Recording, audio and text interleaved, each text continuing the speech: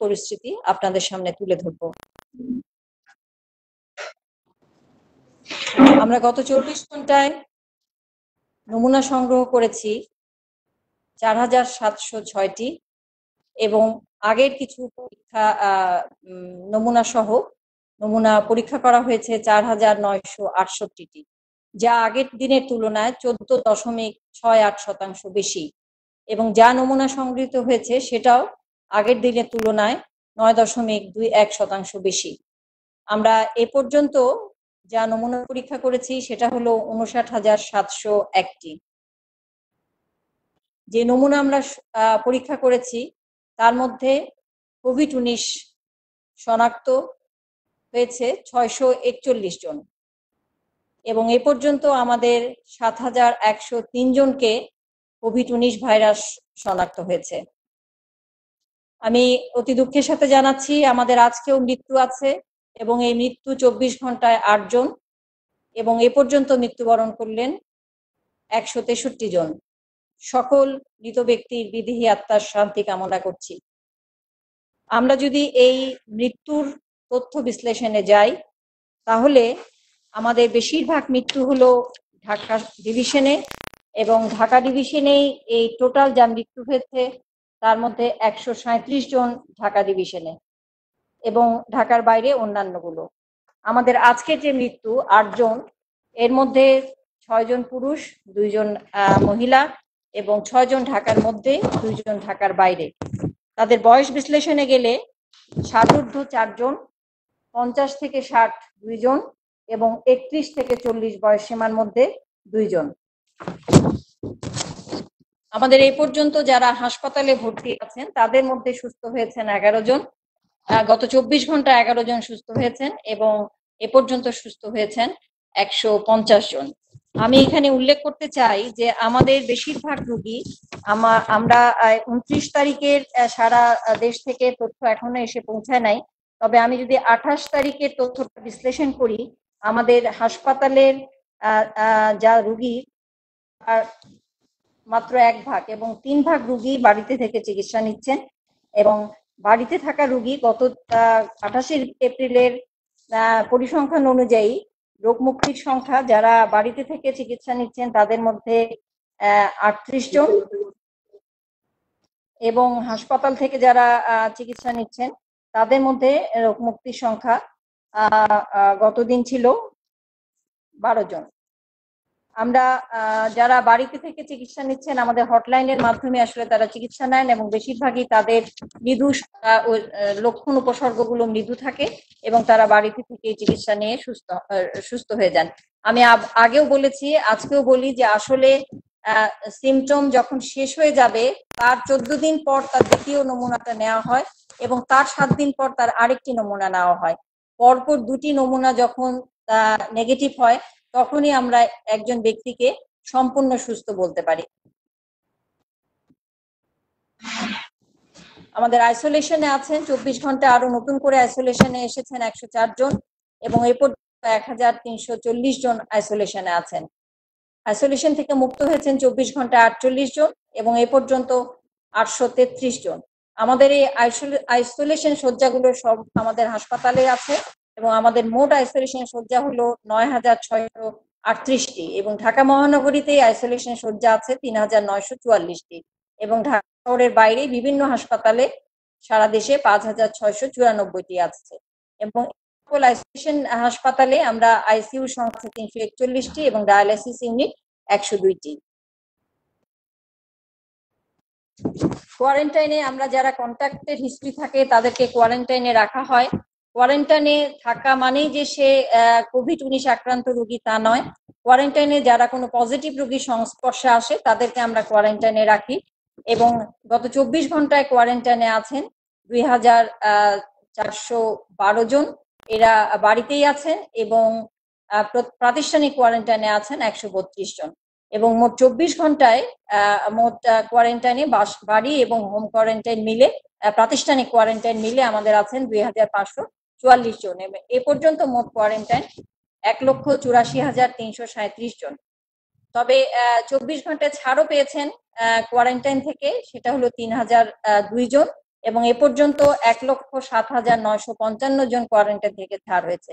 এবং ছাড়ের পরে আমাদের এখন কোয়ারেন্টাইনে আছেন হোম এবং প্রাতিষ্ঠানিক মিলে ছিয়াত্তর হাজার তিনশো বিরাশি জন। সারা দেশে আমাদের জেলা, উপজেলায় কোয়ারেন্টাইনে আমরা রাখতে পারি। তিরিশ হাজার ছয়শো পঁয়ত্রিশ জনকে আমাদের সমস্ত উপজেলা এবং জেলা পর্যায়ে প্রাতিষ্ঠানিক কোয়ারেন্টাইনে। এবং এই জন্য আমাদের ছয়শো একটি প্রতিষ্ঠান প্রস্তুত আছে। আমরা প্রতিনিয়তই আমাদের ব্যক্তিগত সুরক্ষা সামগ্রীর তথ্য দিয়ে থাকি। আমরা গত চব্বিশ ঘন্টায় সংগ্রহ করেছি ষাট হাজার চারশো দুইটি ব্যক্তিগত সুরক্ষা সামগ্রী। এবং বিতরণ করা হয়েছে তেতাল্লিশ হাজার পাঁচশো তিনটি। আমাদের বর্তমানে মজুদ আছে তিন লক্ষ আটান্ন হাজার তিনশো চল্লিশটি ব্যক্তিগত সুরক্ষা সামগ্রী। হটলাইনে স্বাস্থ্য পরামর্শ নিয়মিতভাবে ফোন কল গ্রহণ করা হয় এবং স্বাস্থ্য পরামর্শ দেওয়া হয়। আমাদের স্বাস্থ্য বাতায়ন এক, ছয়, দুই, ছয়, তিন এবং তিন তিন তিন এবং আইডিসিআর এর দুটো হটলাইন মোট এই চারটি হটলাইনে আমরা চব্বিশ ঘন্টায় ফোন কল দিয়েছি পেয়েছি এবং স্বাস্থ্য সেবা দিয়েছি ফোনের মাধ্যমে। সেটা হলো পঁচাত্তর হাজার একশো পনেরোটি এবং এ পর্যন্ত আমরা ছত্রিশ লক্ষ ষোলো হাজার ছশো একানব্বই জনকে হটলাইনের মাধ্যমে স্বাস্থ্য পরামর্শ দিয়েছি। আমাদের এই স্বাস্থ্য পরামর্শ দেওয়ার জন্য প্রতিনিয়তই আমরা চিকিৎসকদের প্রশিক্ষণ দিয়ে থাকি এবং গত চব্বিশ ঘন্টায় নতুন করে প্রশিক্ষণ নিয়েছেন আরও আঠারো জন চিকিৎসক এবং স্বেচ্ছা ভিত্তিতে চিকিৎসকরা পরামর্শ দিয়ে যাচ্ছেন। তাদের সংখ্যা এখন চার হাজার চোদ্দ জন চিকিৎসক যারা প্রতিনিয়তই স্বেচ্ছা ভিত্তিতে হটলাইন মাধ্যমে চিকিৎসা পরামর্শ দিয়ে যাচ্ছেন। ফোন এবং ওয়েবসাইটের মাধ্যমে আমরা স্বাস্থ্য পরামর্শ দিয়ে থাকি। গত চব্বিশ ঘন্টায় মোবাইল ফোন এবং ওয়েবসাইটের মাধ্যমে স্বাস্থ্য পরামর্শ দেওয়া হয়েছে ছাব্বিশ হাজার দুইশো আটচল্লিশ জনকে এবং এ পর্যন্ত পনেরো লক্ষ বাষট্টি হাজার আটশো পঁয়ষট্টি জনকে স্বাস্থ্য পরামর্শ দেওয়া হয়েছে। আমাদের স্ক্রিনিং কার্যক্রম অব্যাহত আছে, যেহেতু আমাদের প্রবাসীরা দেশে ফিরছেন, সেজন্য আমাদের স্ক্রিনিং কার্যক্রম গত চব্বিশ ঘন্টায় আমরা স্ক্রিনিং করেছি বিমানবন্দর, স্থলবন্দর এবং সমুদ্র বন্দর দিয়ে যারা প্রবেশ করেছেন, তারা ছয়শো সাতান্ন জন। এবং বিমানবন্দরে, এর মধ্যে বিমানবন্দরে তিনশো একত্রিশ জন, স্থলবন্দরে একষট্টি জন এবং সমুদ্র বন্দরে দুইশো পঁয়ষট্টি জন। এবং সর্বমোট আমরা, এ পর্যন্ত সর্বমোট আমরা স্ক্রিনিং করেছি ছয় লক্ষ ছিয়াত্তর চারশো উনচল্লিশ জনকে।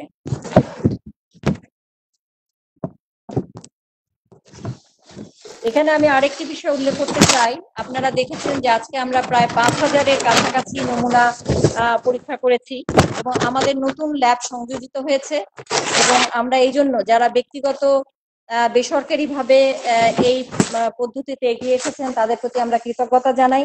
আমাদের নতুন ভাবে আজকে ল্যাব সংযুক্ত হয়েছে যেটা গাজী কোভিড উনিশ পিসিআর ল্যাব। রূপগঞ্জ নারায়ণগঞ্জে এবং এই ল্যাবটি প্রতিষ্ঠিত হয়েছে ইউএস বাংলা মেডিকেল কলেজে রূপগঞ্জে আমরা এই উদ্যোক্তার প্রতি কৃতজ্ঞতা জানাই এবং ধন্যবাদ জানাই যে তারা সম্পূর্ণ নিজের উদ্যোগে পিসিআর মেশিন বায়োসেফটি লেভেল যেগুলো দরকার, একটা পিসিআর ল্যাব চালানোর জন্য তারা নিজেদের উদ্যোগে এটা আমদানি করেছেন এবং ল্যাব প্রতিষ্ঠা করেছেন এবং তারা লোকবল নিয়োগ করেছেন এবং তারা এই আমাদের সরকারকে সহায়তা করছেন, নমুনা পরীক্ষা করে, করবার জন্য। এখানে আরেকটি তথ্য আপনাদের দিতে চাই যে আমরা বেসরকারি যে হাসপাতালগুলো ঢাকায় আছে, তার মধ্যে আমরা তিনটি হাসপাতালকে ইতিমধ্যে অনুমোদন দিয়েছি যে তারা পরীক্ষা করতে পারবে। সে, সেই হাসপাতালগুলো হলো এভার কেয়ার হসপিটাল লিমিটেড যেটা আগে অ্যাপোলো হসপিটাল ছিল স্কোয়ার হসপিটাল লিমিটেড এবং ইউনাইটেড হসপিটাল লিমিটেড আমরা তাদের পরীক্ষার যে নমুনা যা তারা পরীক্ষা করবেন, সেগুলো আমরা সংযোজিত করব আগামীকাল থেকে বা তারা যখন কাজ শুরু করবেন তখন থেকে।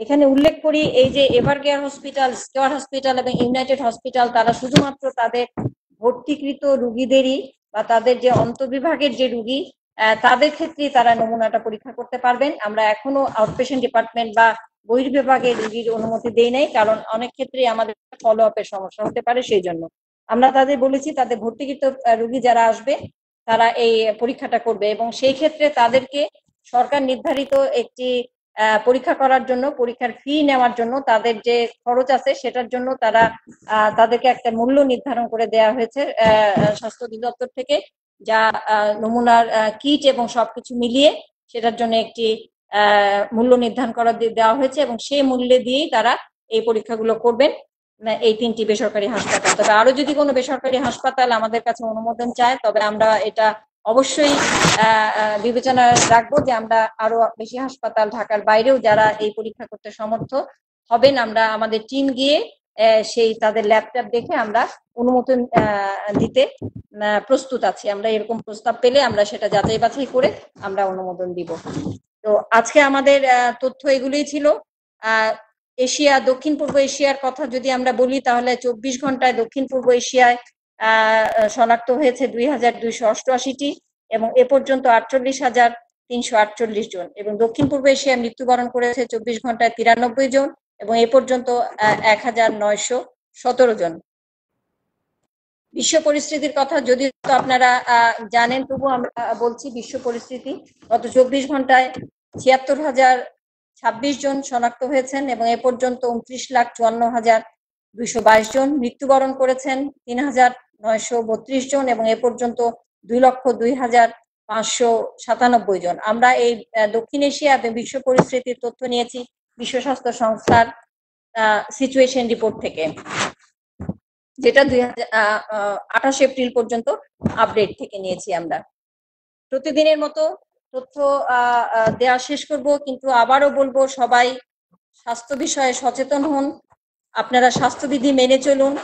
যেমন আপনারা কোভিড বিষয়ক স্বাস্থ্যবিধি মেনে চলবেন, ঘরে থাকবেন, মাস্ক পরিধান করবেন, বারবার সাবান পানি দিয়ে বিশ সেকেন্ড ধরে হাত ধুবেন, কফ থুতু যেখানে সেখানে কফ থুতু ফেলবেন না, ধূমপান করবেন না, কুসুম কুসুম গরম পানি পান করবেন এবং গরম পানির ভাপ নিতে পারেন, গরম চা গরম পানি সহ, লবণ সহকারে গড়গড়া, যেগুলো স্বাস্থ্যের ক্ষেত্রে উপকার হতে পারে।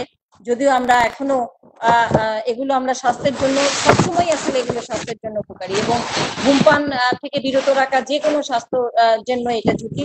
সেজন্য এই থেকে আপনারা বিরত থাকবেন। রমজানের যে স্বাস্থ্যবিধি আছে সেগুলো মেনে চলবেন। রমজানে ভাজা পোড়া খাবেন না, বাসি খাবার খাবেন না এবং চর্বি চর্বিযুক্ত খাবার খাবেন না। হালকা নিয়মিতভাবে হালকা ব্যায়াম করবেন। শরীর মন, শরীরকে যেমন ভালো রাখবেন, মনকে উৎফুল্ল রাখবেন। মানসিক স্বাস্থ্য মানসিক স্বাস্থ্যের পরিচর্যা একটা বিশেষ আমাদের দরকার এই সময়।